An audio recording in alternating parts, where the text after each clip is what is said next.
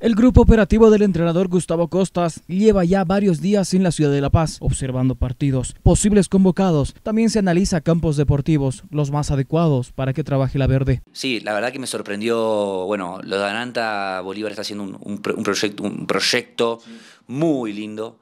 Eh, de primer nivel. Eh, Achumani es espectacular, se nota que es, que es eh, un, club social hermoso, eh, Stronger, y, bueno, vimos todo, tuvimos la suerte de, charlar con el cuerpo técnico del, Pampa.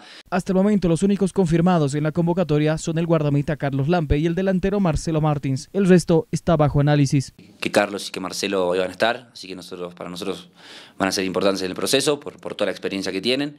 Eh, por el momento que, están pasando. Eh, Carlos en Argentina, eh, bueno, Marcelo tratando de ganarse un lugar en Paraguay, Juan en dos equipos muy buenos.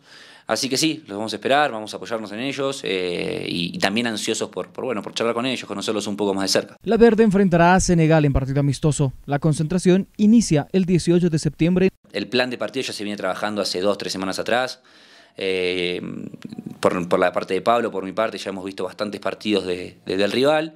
Eh, y bueno, ya estamos eh, manejando diferentes eh, variables de, cómo plantear el partido. Así que nada, en ese sentido, repito, con muchas ganas, con muchas ganas de que, llegue el partido, pero también con muchas ganas de, conocer a los chicos y, bueno, de empezar a, entender bien, bueno, las cosas que les gustan, las cosas que no, y, ayudarlos en, bueno, en que este proceso sea lo más exitoso posible. Después para noviembre se pronostica un microciclo donde ya se trabajará con el entrenador Gustavo Costas y se hará una planificación a futuro, las perspectivas y el trabajo a realizar.